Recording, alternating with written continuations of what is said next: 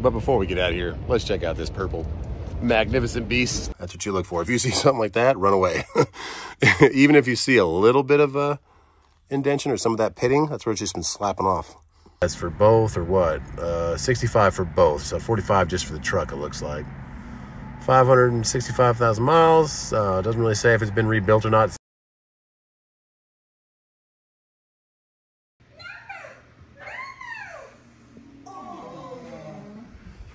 All right. I'll see you later. Love you too.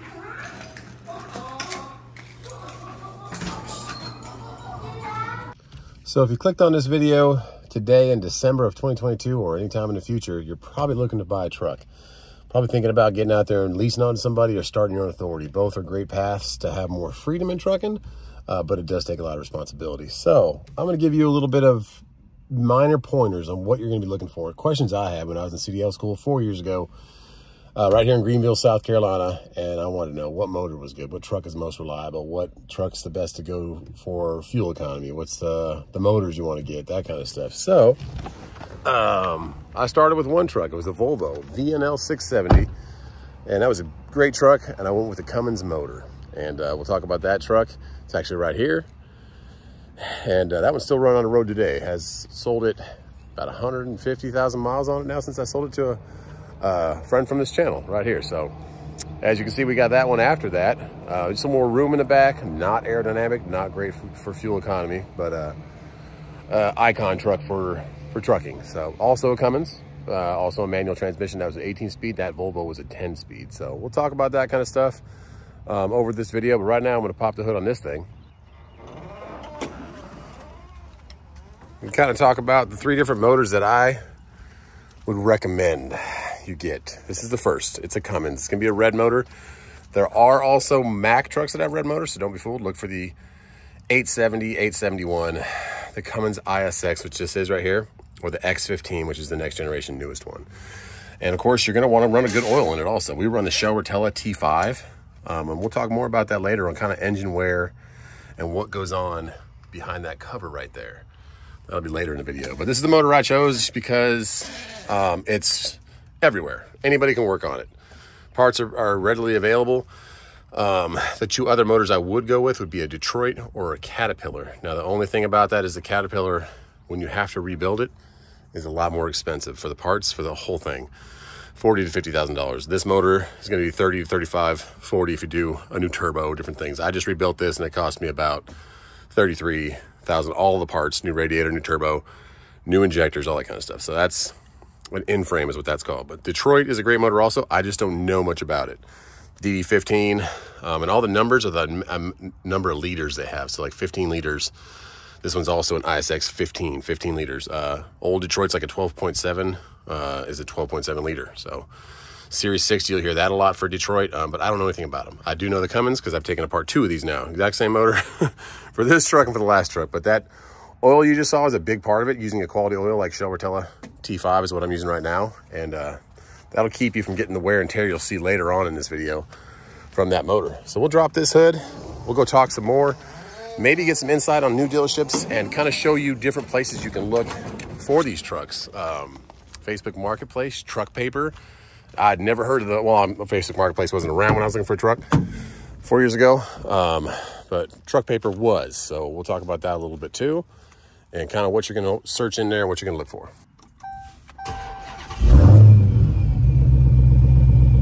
But first, let's get over to the Pete store and see some Peterbilts. And while we head there, we'll talk a little bit about um, miles on a truck, motor, uh, longevity, that kind of stuff. All that stuff that that oil will help out with. Um, keeping your motor running smoothly and keeping the oil from breaking down. A good quality oil is very important. But number of hours, uh, 20,000 to 25,000 hours is going to be a big thing on a motor. So that's right about the in-frame time when you're going to need to rebuild it. That 5,000 miles between 20 and 25,000. That's just when they go nowadays, especially with the emissions and stuff like that. So, or even the older ones. But, um, and also with miles, you're going to be looking, if you're getting into the seven, 800,000 miles, that's probably also when you're going to be needing an in-frame. So lot of these big companies will resell these trucks at about 500,000, 550,000 miles, sometimes into 600,000 miles if they have not been rebuilt That's not a red, it's a pretty big red flag. Both of mine were in the 600,000 miles when I bought them, and both of them had to be rebuilt within a year. Well, the first one lasted about a year and a half. This one was within a year, and I had to do, I could have done minor work to re-get, re-get it back on the road, but uh, I did the whole thing because I just wanted to have peace of mind. But so th those are the mileages. So if you see a truck with 900,000 miles and it has zero paperwork saying it was overhauled or, or um, rebuilt, then don't, or in frames what they say it's called, then don't, uh, I wouldn't go for that one unless you were getting it dirt cheap and you were expecting to have the money to rebuild it. So think about those things.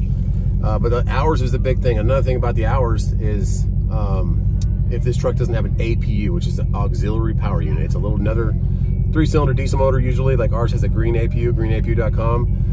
And when you're sleeping at night, if it's cold or hot outside, or if, even if it's nice and you just want the hum of the motor to get put you to sleep, I like white noise. Uh, that keeps your motor from running all night because a lot of guys don't have APUs and they will run their truck nonstop. So see you're in the cold uh, winter months, you're up in the Northeast or you're up in the Midwest, and it's freezing cold all the time. You're going to be running your truck nonstop. So that's just hours clock, just keeps going, keeps going, keep going. With an APU, you can turn that on and save your hours on your motor, save that wear and tear and friction um, even though the oil helps keep it down, it just it wears out your motor. So think about that. APU is something you're gonna wanna look for that the truck already has. My Volvo that I bought already had an APU. I knew that just made sense to me. Like why, why not have, why idle the truck all the time when you can shut that uh, engine off and, and, idle with the APU. So this truck had one on it when I first got it. We put the green APU on there, way more efficient. It's the highest um, BTUs blowing motor APU on the market also, and it's really nice and cold. So keeps your battery charged, keeps you cool and comfort while you sleep or while you're just hanging out waiting for the next load. So let's get on the road.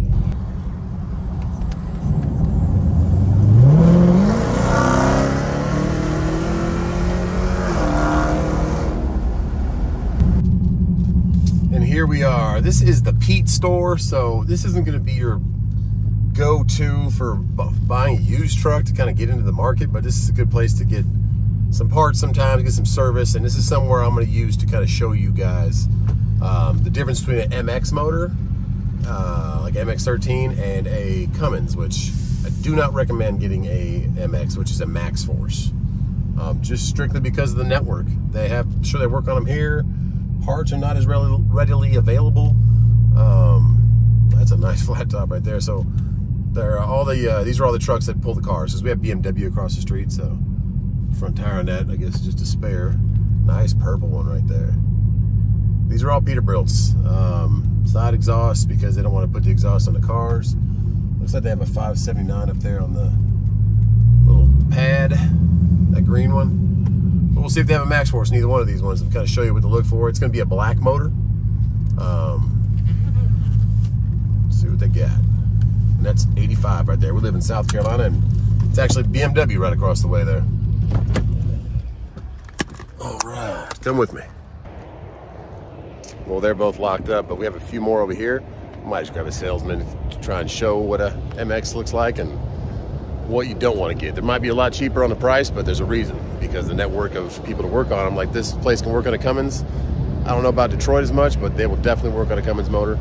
Um, Caterpillar, you got to really find your own shop for that because the reason with Caterpillar guys is they don't make them anymore for commercial trucks. Once emissions started coming out, which is another thing we'll talk about after we find an MX motor, uh, emissions played a big part in Caterpillar kind of saying we're out of the uh, commercial truck industry.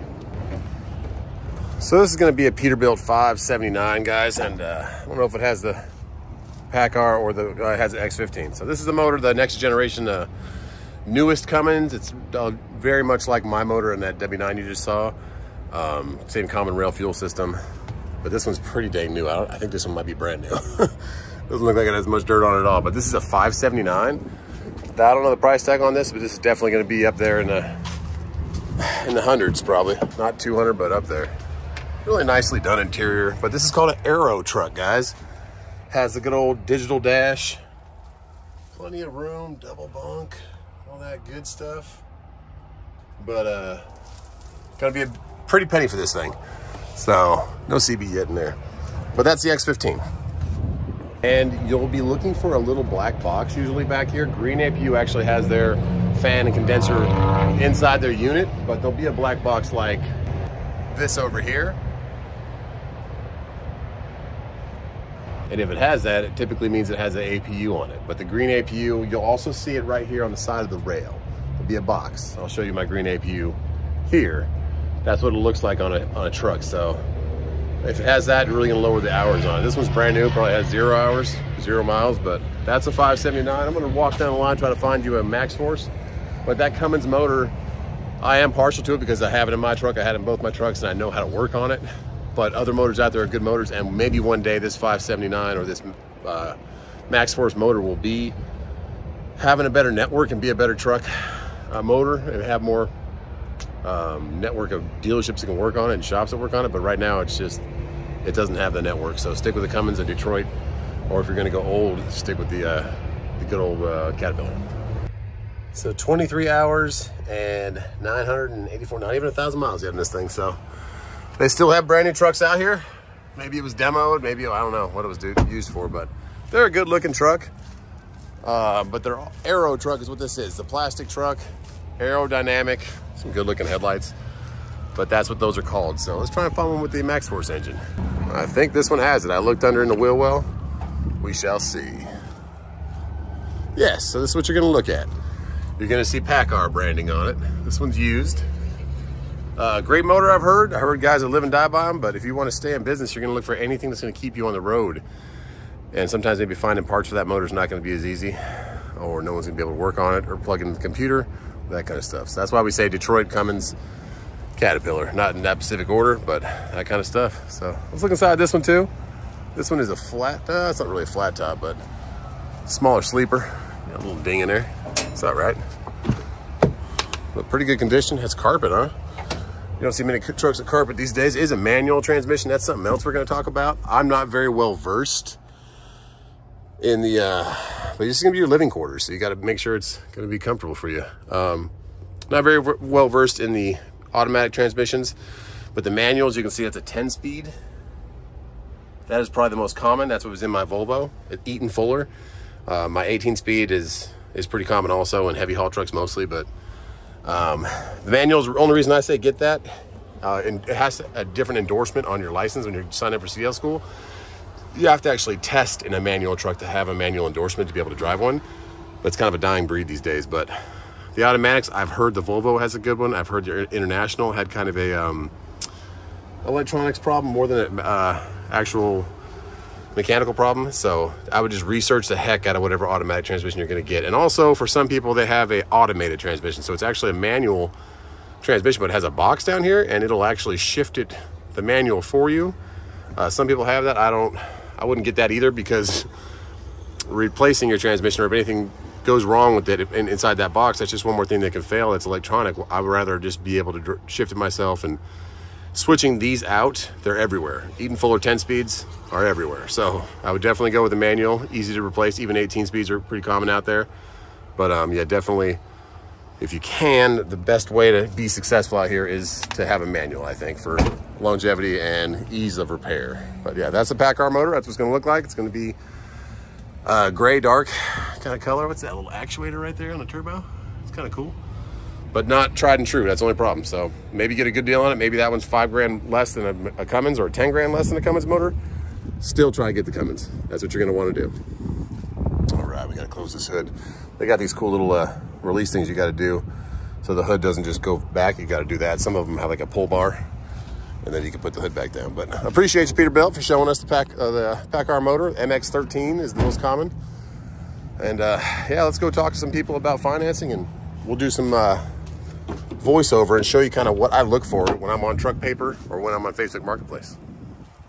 But before we get out of here, let's check out this purple magnificent beast 389 see how it clears the top of that rack just perfectly heavy hood let it get down all right let's look at this motor okay another PACCAR motor and I'm not saying it's the worst motor in the world. Don't go with it at all. If you're going to finance and you're going to get a warranty and you're planning on not keeping the truck forever uh, and you don't want to do your own maintenance kind of thing, which is another thing I want to talk about. Like doing your own maintenance and knowing how these motors works and being able to fix little things that might break is night and day to keep you in this industry or not. So right now my truck's actually down, but for my trailer, nothing to do with the motor or the truck itself. But uh, if you're gonna go warranty and you're gonna do all that, then it might be the motor for you, who knows? But uh, for me, it's just the ease of everyone being able to work on it. These cool key fobs. This one is brand new. Let's see. 14 hours, 135 miles. Digital dash. Nice looking truck. Another thing you're gonna notice about these hood trucks, they call it, when they have a squared off hood like that, it's not an aerodynamic truck. There's really limited room between them, uh, between the seats. You'll notice a lot of the aero trucks have a lot more room in there. But this is a, you get a free hat, whatever. Back window, typical uh, 389. But for me, see the uh, the height, I won't be able to stand up in there. I'm 6'5". Uh, the W9 was the way to go for me for all the room that it gives you. But these, this is a very popular truck right here. Um, but just not the room. I wish that's kind of cool. It's probably removable. I don't have that in my truck. But also, I, I need that room to walk through. Yeah, so we got a another 10 speed, it looks like. Yeah, because it has just a, well, it has a splitter on the side. Um, maybe 13 speed, I'm not sure. There you go. Beautiful trucks though, smells like brand new. You still get some analog gauges, but this is a car hauler, so you're gonna have that and you're gonna have the shorter um, sleeper, but it, typically a lot of them have that short sleeper. Uh, there's nothing that has the tall one like the W9 does, so.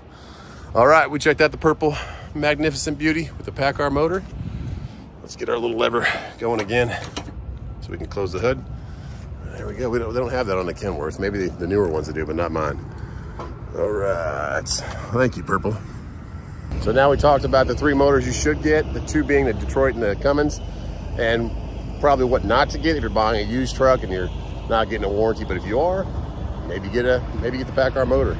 I've heard it's a great motor, but the network is what we're talking about. So let's get over to uh, PACCAR Financial now, down the road a little bit, and talk about what we look for in truck paper and uh, Facebook Marketplace. But before we get over to uh, PACCAR Financial, I had to see if my friend was here, and she is working, and she owns the only jailbreak 900 horsepower, 800 horsepower, maybe 900 horsepower, I'm not sure, I think it's 800, uh, Challenger out here in South Carolina. So go say hi to her and see if she wants to get a picture. Denzo, so you actually run cars, mm -hmm. and yes, you have sir. a seven car, so you have a little more room up top? Yes, sir. Nice meeting you, man. Thanks for watching the channel, and uh, yeah, man, where are you rolling to now? Uh, right here to the BMW. Is it all Beamer? That's what you're moving a lot? Nice. How does that work? You just get there early in the morning, they have they load you up quick? So I'm an independent contractor Okay. uh, under United Road, Okay. and it's just basically I whip Toledo down here, drop the load, and then they find me a load in the area, Uh-huh. and then I come back and I'm going to Oklahoma City, and then whatever's in the area. So you take them, they take them out there. What do you come back with? uh, just whatever I have. in the Whatever you can get. Okay, so you, just, you take out Beamers and you come back with just uh, random smorgasbord. Yes, sir. That's how it works, guys. So that's the car hauling business. Nice meeting you, man. Thanks for explaining that to us. Take care, brother. We did meet up with Wendy, the only jailbreak in South Carolina. But I, I brought my, I don't haven't named her yet, but I brought Mr. Mrs. Hell Kitty The over beauty. there. The beauty. Uh, the white Hellcats are finally reunited. I told her I'd bring it someday, take a picture. So we'll get a picture, but thanks for showing it to us There again. we go. There we go.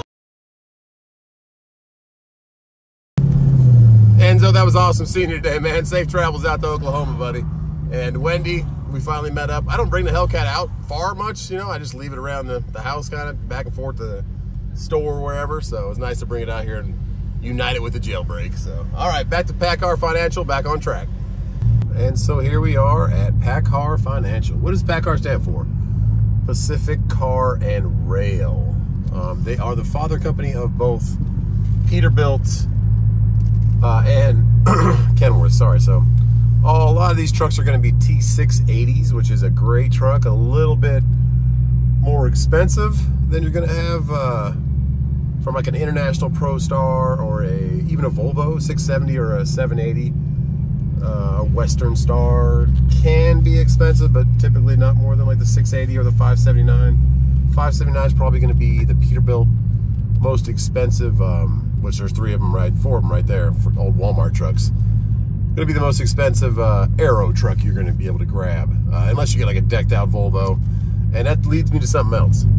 Let's talk about Volvo for a second. Um, great truck. That's the first truck I ever bought. Uh, it was made from, I want to say 06 or 07, all the way up until, I want to say uh, 17 or 18 was the same body style, same interior, same everything. So it means you're gonna be able to find parts very easily if it was that long of a run of the same truck. The Volvo motor, let's talk about that. It's also gonna be green, like the Detroit. Um, the network is pretty big, but you're have to have, find like a specific Volvo um, independent shop that works on them, which are, are far few between, or a Volvo dealer. So Any Volvo dealer, though, will work on a Cummins because the Cummins motor is available in the Volvo. So that's where it comes into play. The Volvo's a great motor, but they have their own quirkiness and like the injector cups. So I'm getting into a whole different thing about the motor itself that if you want to be able to have the biggest network, you want to go Detroit or Cummins because most every shop out here works on them. So that's why I say that. I don't knock the Volvo motor. It is a great motor. It's actually a very powerful motor and a fuel efficient motor. But when something goes wrong, if you're going to be out here and you're running it for half a million miles, the parts network and the network of places that are going to work on it is going to be a little bit smaller than a Detroit or a Cummins motor, if that makes sense. So, and Caterpillar is a whole different thing. They're not made anymore, so it's kind of the same lines of, of Volvo, where there's not too many shops that work on them. There are, but there aren't, if you know what I mean. Like, there's guys that just die hard work on Caterpillars, and you got to find those shops.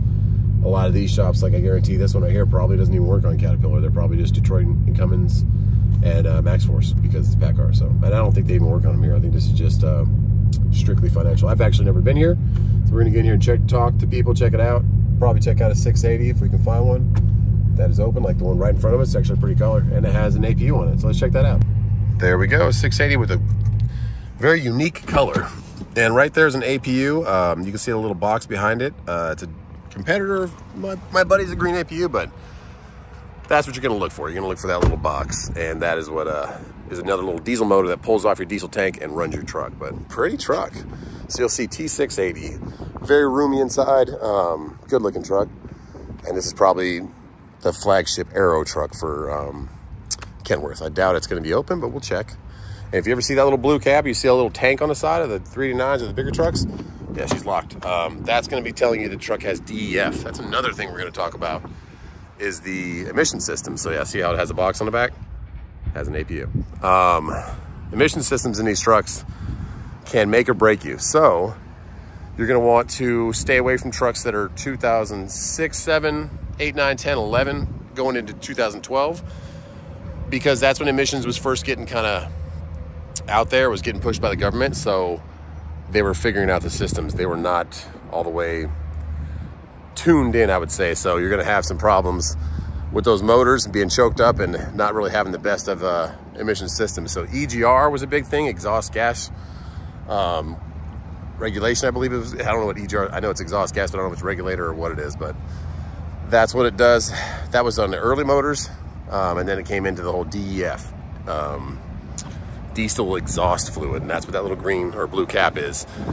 And diesel particle filter, DPF, is what's gonna be having to be changed a lot. It pretty much is taking the ash out of the exhaust and uh, trying to keep it out of the environment. So, but those systems really, uh, these are all locked, I guess, um, choke up your truck. So you're gonna wanna try to stay away from those years, those early years, the 07s to 2012s. Uh, my Volvo actually was a 2012. Um, it did have diesel particle filters and I kept up maintenance on it. You could kind of do little things here and there to clean it out and keep it keep it going. But um, I would, if I could do it all over again, I would have got like a 2014 or 15 or newer. And now that it's later, it's five, four years since I bought that truck, those trucks would be cheaper. I bought that Volvo for $30,000 uh, at Ryder Truck Sales. So you're gonna wanna try these, find these lease companies like Penske. I don't know so much about Penske, Penske but Ryder's a great company. A lot of these other companies like Club Cars, where my truck came from, um, the golf cart company down in Augusta, Georgia, it matters where they were too. It matters where the truck was from. If it's from Southeast, if it's from the Midwest, Northeast, you're gonna get a lot of rust. Um, think about those things when you're looking at where the truck has spent most of its life. But my truck was out here in the South and it was $30,000. It was a Cummins motor, it was a 10 speed transmission. And uh, they're gonna, we'll talk to them inside here a little bit about financing, hopefully. They're gonna want a good amount of down payment. Uh, it was like 30% down. So I had to put like 9,600 something dollars down. Um, I sold my personal truck just to do that. So that was four, almost five years ago. So now it's even more inflation. I'm probably can't really get a great truck for $30,000 more at a dealership. You're gonna be spending about 50 or more probably. Um, so think about that when you're looking at these trucks. But Facebook Marketplace can be your friend. We'll talk about that in a second. I'll go through Facebook Marketplace, the stuff that I would look at, as well as uh, truck paper, kind of the things I would click off to filter down to kind of give yourself a, um, a better search where you're not just wasting your time. And one more truck we're gonna talk about is the Freightliner. Awesome truck, one of the most popular trucks out there, made here in North Carolina. Uh, runs a lot of Detroit motors, but their DEF, DPF system, the emission systems, is called a one box, and you wanna try and stay away from it. because if it goes out, it's about $10,000 and rising to $11,000, $12,000 just to replace because it's, it's, they call it one box because it's like an all-encompass system for their uh, regulations of, or their um, emissions. So the other systems, you can kind of piece them, not piece them together, but there's the particle filter, there's different sensors, different things that you would go out and you refix them. But if the one box goes out and you have to replace the whole thing, you're looking at $10,000. So that's the only downfall I have from Freightliner. I've actually never driven one. I've never been in one with a whatever, but I've heard horror stories about the one box. So that's why I would stay away from the Freightliner or make sure it's brand new or has a warranty on it or, or anything else. And there's other ways to go about emissions. We don't really talk about those and discuss them, but if that's something you're doing, um, yeah, just know that Freightliner has probably the most expensive uh, emission system out there. So have that in mind when you're uh, when you're looking at the truck. But let's check out these guys talk about financing a little bit on all this inventory. And inventory has come up. It's 2022 right now when this video is filmed. We're right at the height of the truck market where trucks were a bajillion dollars. And it's been about three or four months now that they're really coming down. So I think that truck's running, or maybe his APU's just running. Yeah, his APU just running. So cool thing about green APU, kind of like this W9, or not W9, T680 right now, you can hear that motor running. That's the APU. And so with the batteries drop below on a, a green APU, uh, I think it's 12.5, they'll charge for an hour. So that's what this thing's probably doing. Just refreshing the, the batteries and giving it a, a recharge. So before we walk on in here, this is exit 78 off of uh, 85 in South Carolina, heading towards North Carolina. Let's check out uh, truck paper and um, we'll check out Facebook Marketplace a little bit, just kind of what I would look for, the searches I would do, and you can kind of expand on that and do your own. So let's start with Facebook Marketplace. Uh, great place to find kind of private sellers, get the best deals, somebody that's just going uh, out of business or trying something new. And I'll type in Volvo with a Cummins to start with. You can also just type in Volvo 670 or 780 or 860. Uh, that's a nice one, but it's an 08. So the emissions is going to be on the won't have the DEF, but it'll have the EGR. So would ask him about being rebuilt, anything like that. Uh, looks like he's selling a trailer too, a reefer. Uh, so 45,000, we'll look in the description, see if that's for both or what. Uh, 65 for both, so 45 just for the truck, it looks like. 565,000 miles. Uh, doesn't really say if it's been rebuilt or not. It's the number one question you're going to ask. Uh, it does say salvage title, so that's another thing. Your your banks will not finance that salvage title you think about that um, when you're trying to finance. And like traditional credit unions and these kind of banks typically won't finance these. I use CH Brown out of uh, Wyoming, so there's 165,000 Volvo dollar Volvo right there. Um, so yeah, you're gonna have to find a specific equipment company that finances uh, heavy equipment, commercial trucks and stuff. And they're when the market's great, they're a little bit easier to lend, but when the market starts crashing, they start uh, being a little bit stricter on their lending. So just keep calling, keep finding different companies, and uh, see what they want for a down payment. All right, 2014, that's a pretty pretty good year. Uh, it's a big truck too. It's a, and it is a manual, but it does not say if he has a rebuild or not. So it's the number one question I would ask right there. But that's a good truck right there. 10 speed with the Cummins, and a 485 horsepower is actually pretty good. The, the 450 was the standard pretty much for those trucks. If you ever see one with 400 horsepower, try to stay away from that. It's kind of underpowered. They can tune it up, but it's not really meant to do that. So, all right, now 680 just sitting right there. We'll look at that one. As an APU, has that black box on the back of it. Uh, as the MX-13 though, that's the MaxxForce motor at 800,000 miles. It is ready for a rebuild and it has a salvage title, so I would pass on that one. Hard pass. Pretty looking truck, but a hard pass. It's gonna be uh, nothing but problems for you going down the road. All right, $75,000, 64. There's a 07 W900. That's the truck that I have. I didn't see if it was 87. Oh, Studio Sleeper, exact same truck I have, but that's a Caterpillar motor. If you see a yellow motor, um, it says the engine was just rebuilt in 2019, so 48 months. That you're uh, one more year of, uh, and it has an APU. So that's a pretty decent truck, but then again, it's not a good fuel mileage truck. And right now, fuel is through the roof. So my truck is uh, not getting the fuel mileage I used to get my Volvo. My Volvo was getting eight miles per gallon. My uh, W900 is getting about seven if I'm lucky. So about six and a half usually. So yeah, 680 is a great truck, a little more pricey.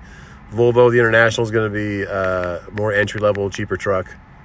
Um, let's see, International, and then ProStar is the most uh, popular one. There's also one called LT, which is the newer one, but ProStar is probably the best deal you're going to get out there for a drivetrain. They do have some electrical problems, so make sure they haven't cut through all the dash and added a bunch of com or whatever uh, uh, ELD stuff and just rip through the wires. Make sure that oh, there's not too many dummy lights on that thing when you're uh, getting into it. $32,000 is decent for a 2015. Does fleet maintain, doesn't say what kind of motors in it. Um, would, that's number one thing I would ask and on that one. Any paperwork on any kind of services, new head, anything like that. All right, let's keep looking. Because just a new head for these Cummins motors is about $6,000 now, just for the head. Uh, that's the top of the motor if you don't know much about motors. There's a Cascadia, so that's the one with the one box. So 2015, I know for a fact it has that one box DEF system, so just be wary of that. It does have a Cummins motor that has a lot of miles, ready for a rebuild, so you can talk them down that price even more, get it in the 25 range because you know you're going to be spending 30000 rebuilding that motor. Okay, and then we'll go to truck paper. Just kind of teach you how to look through these. You kind of look saw what I'm looking for, uh, but this is what you do. You go heavy duty trucks, you go sleeper trucks, and then you can kind of go through the filters so you're not just looking at everything. We'll just start with international. Go to that ProStar. It's the most number of trucks that are for sale. There's LT above it. Well, LT actually has more. Um, we'll go ProStar and we'll just go down to motor. And I choose Cummins. You can choose Cummins, Detroit, and Caterpillar, but I don't think Cat ever went, or Detroit ever went in the international, but I'm not 100% sure on that. So yeah, and we'll just do like a year range. 2013, the emissions were kind of getting better to 2018 before the price started going up through the roof even more. And yeah, that's what kind of search uh, stuff you can do. You can really filter it out. You can go into maps and um, just look through the trucks. There's a bunch of ProStars out there. And the Pro, Truck Smart or Truck whatever uh, paper is going to have more dealerships than private sellers. And there's a map for you, kind of just see where they're at. There's not any right here in South Carolina around me, but there's one in Charlotte, there's one in Savannah. Um, and they pop up every now and then. So just keep looking through them. This looks like about 60 grand they're trying to get for these things, and it's a buyer's market right now, so you can negotiate the heck out of them. That's another thing. Think about the market. Is it a buyer's market? Is it a seller's market? Buy your truck at the right time. And if you're still running company right now, you're just thinking about getting in trucking, you can start buying a truck. Just don't make it active. Don't put your IRP registration on it. Just um, uh, get the truck and start paying on it if you want, if you have the means to do that and get ready for a good market. All right, I hope that helps you guys.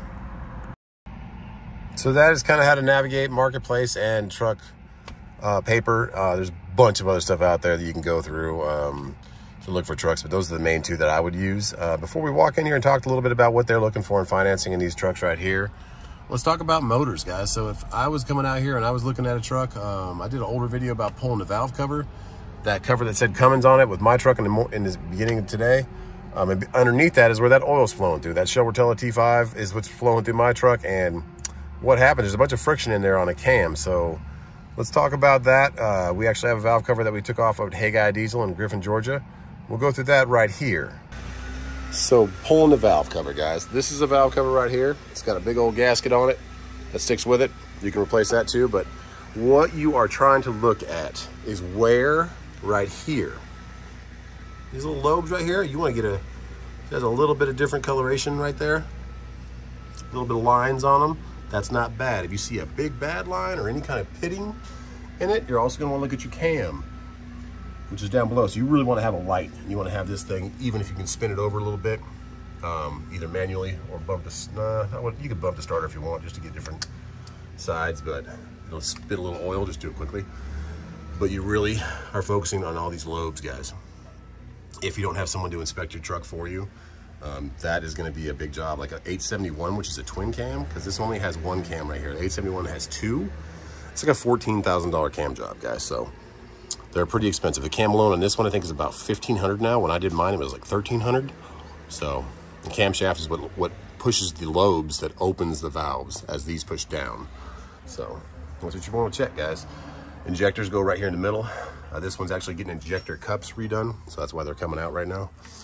And uh, yeah, that's what you're gonna look for. That's one thing. It's just 10 bolts all the way around the outside. Actually, eight bolts. Eight bolts right here. Take those out. It comes out this way. You gotta take your EGR uh, tube off.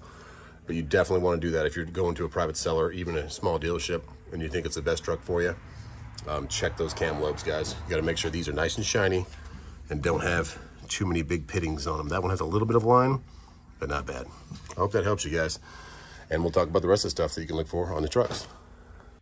And to add the whole camshaft idea, these are all cams that are in the camshaft, graveyard, along with some rockers. This is what actually pushes down. They're all rusted because they've been out in the, in the water. But you can see some of them are pretty smooth still. Uh, that one has a big line on it right there in the middle. It's being worn out.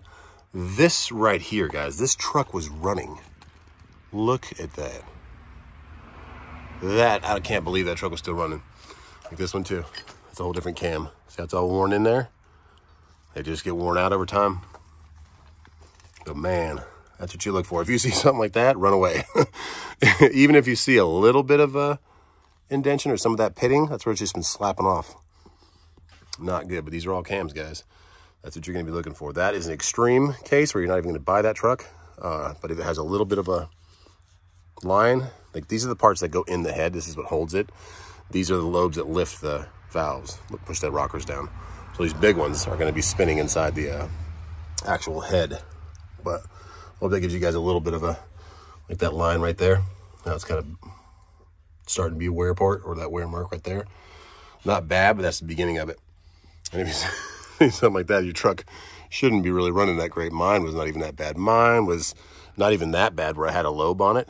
It was just kind of getting worn down in the middle, but it bent that valve. So hope that helps you guys understand what cams do. And that's the main thing you're looking for is that. And then the other side of the rocker, this right here. Look for those two things. And uh, best of luck with that. And I hope that helps you guys understand what's going on underneath that valve cover. And just simply pulling that off can mean the world to kind of knowing what the wear and tear is like on that motor before you make that big purchase on that uh, truck. So that's a big thing you want to try to do. Even here at the dealership, if, if it gets serious about the truck, maybe have the mechanic do that for you or have them, yeah, just be there for that. If you can at all get that done or just get pictures, a video, anything that they can take on their time to show you those rollers on those cams because you can see they can still be running truck and that's that's a whole lot of work right there. $6,000 head, new cam is about $1,500 now. Um, all the rollers, if there's a messed up, all, everything like that just keeps to add up. So it could be a $10,000, $15,000 job just for that head. So think that in mind. Let's go talk to some people.